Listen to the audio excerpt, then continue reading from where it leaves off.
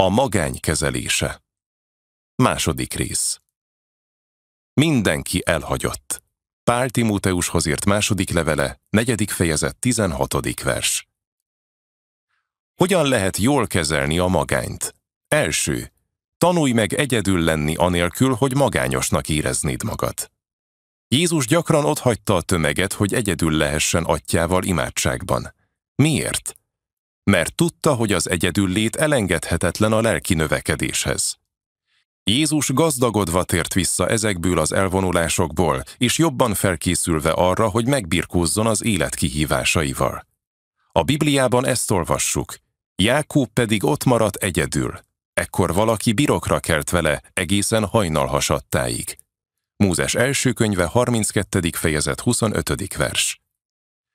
Ebből az Istennel egyedül töltött időből új névvel, új természettel, új járással és új jövővel rendelkező ember született.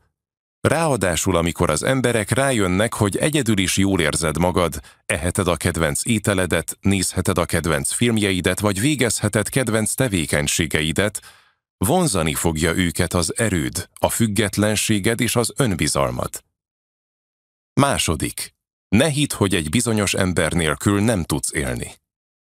Isten az egyetlen személy, aki nélkül nem élhetsz, és ő megígérte, hogy mindig veled marad. Sokszor azért esünk depresszióba egy szerettünk halála után, mert nem ápoltunk másokkal kapcsolatokat. Ezt azonban soha nem késő elkezdeni.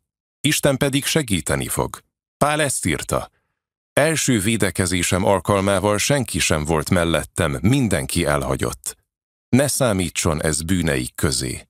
De az Úr mellém állt és megerősített, hogy elvégezzem az ige hirdetését, és a népek valamennyien meghallják azt. Pál Timóteushoz írt második levele, negyedik fejezet, 16. tóra 17. versig. Isten segíteni fog, hogy meggyászold a veszteségedet, tovább lépj a veszteségből, és elindulj a felé a jövő felé, melyet neked készített. Rendkívül hálásak vagyunk, hogy naponta emberek ezreihez juthatunk el Isten életváltoztató üzeneteivel.